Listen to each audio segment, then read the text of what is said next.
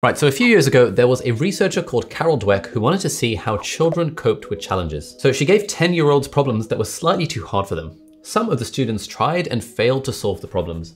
They felt their intelligence was being tested and they failed and they were absolutely devastated. But there were some students in the group who responded differently.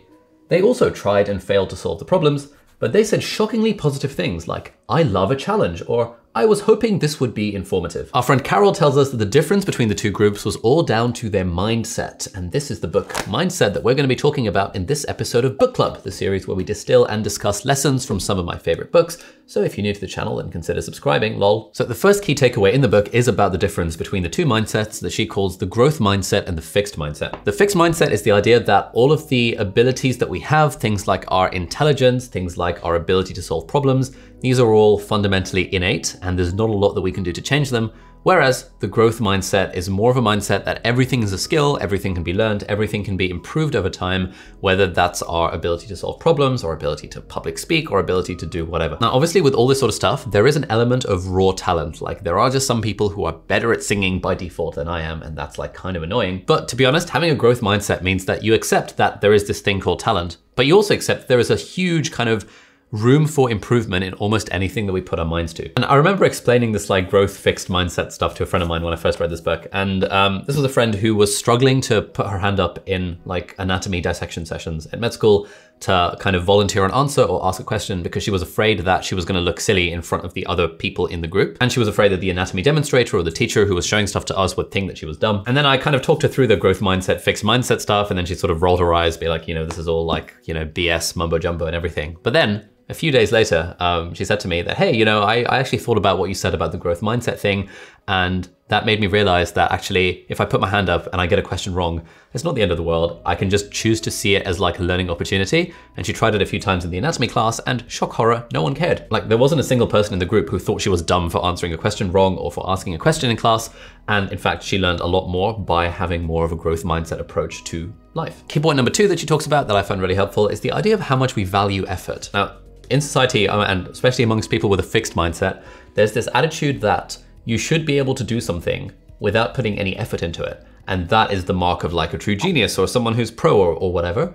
And so people often feel that if they're having to put effort into something, they are doing it wrong. And so you see this often a lot in schools and university and stuff where people will feel that, oh, I, you know, when I study for my exam, when I'm trying to write an essay, when I'm trying to learn this language or learning to code, it feels so effortful. Therefore, I must be stupid. The fact that I'm working so hard to do this thing means I must not be very good at the thing and therefore I am dumb. That's generally the fixed mindset approach to life, which is obviously total BS. And what Carol Dweck tells us in Mindset, and she cites loads of evidence that shows that actually everything in life takes a large amount of effort. Even the geniuses, especially the geniuses, they were produ- they were putting in so much effort that you just don't hear about or you don't see because it doesn't make for an interesting story. You know, Isaac Newton, apple fell on his head, he discovered gravity, whatever. Like, you know, that's the, that's the story that we hear about. But there are a zillion other experiments that he tried to do. He tried to dabble with astrology. He did like so much stuff and most of it is relegated to like the discard pile because it's only the successes that we actually care about. And so what she tries to encourage us in the book, which I think is very good, is to reframe the idea of effort. Putting in effort is not a bad thing. We have to put in effort to get any kind of result. And especially when it comes to things like learning and studying, the more effort we're putting into it, the more our brains are having to work, the more likely that information is to stick. It would be like going to the gym and saying, yeah, lifting weights should feel effortless. Well, if lifting weights feels effortless, then you're not going to get any gains because it's only when you put effort into it and when it starts to get hard, that's when you get the stimulus for muscle growth. I had a really good illustration of this the other day. So I thought I was very growth mindsety and I, you know, obviously value effort and all that kind of stuff. But I was having a chat with the marketing director of this big software company that I really like. And he was kind of, we were talking about some of the challenges around running a business and managing a team.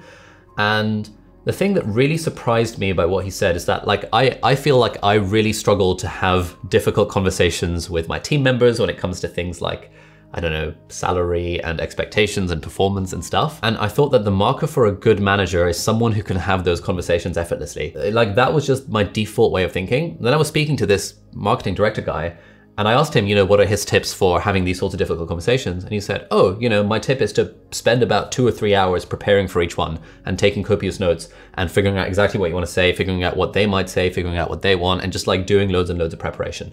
And that was really surprising for me because it was like, damn, you know, this guy with, with 10 years of experience, he's putting an effort to, pre to prepare for these conversations. And I realized that I'd been approaching it with a kind of fixed mindset. And in a way, I was thinking that I wasn't a good manager because this thing did not come to me effortlessly.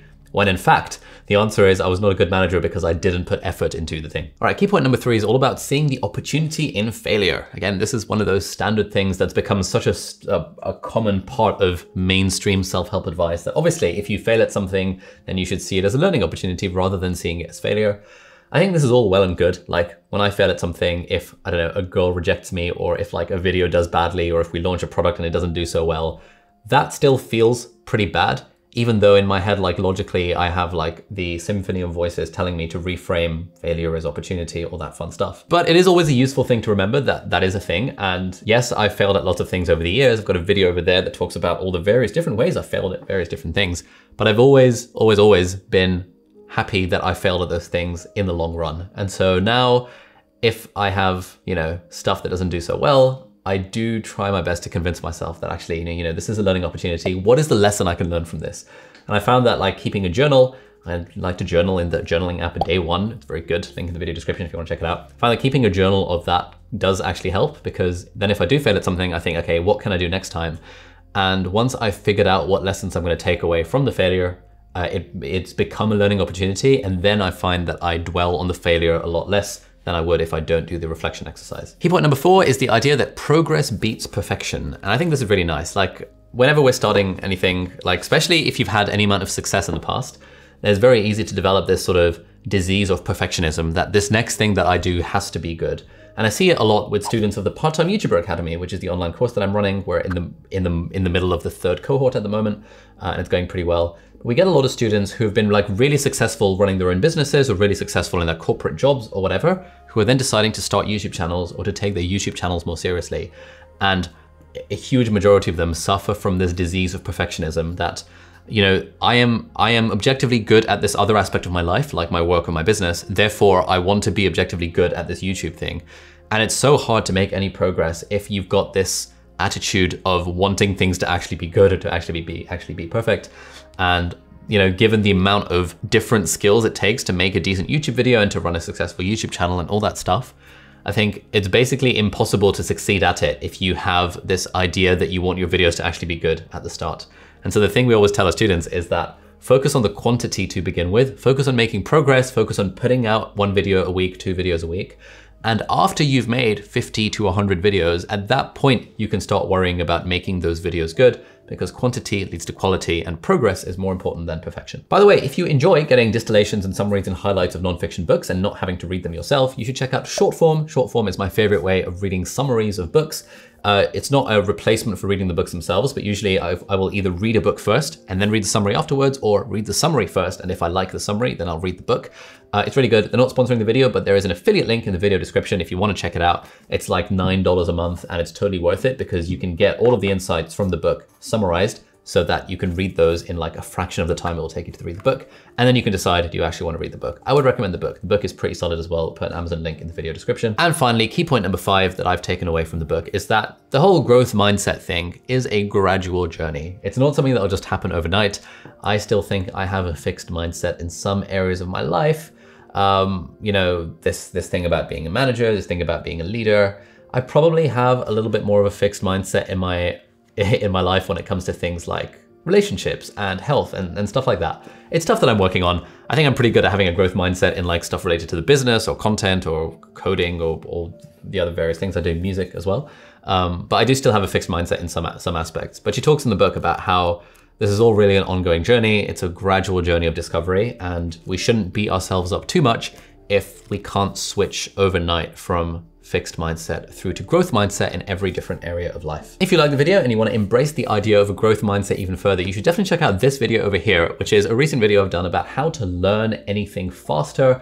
That is kind of about how we can apply the growth mindset and apply kind of principle to, principles, tools, and hacks from all the scientific research around how to learn faster so that we can learn stuff better and we can growth mindset our way to, to infinity and beyond or something like that. Anyway, thank you so much for watching. Hit the subscribe button if you aren't already, and I'll see you in the next video. Bye-bye.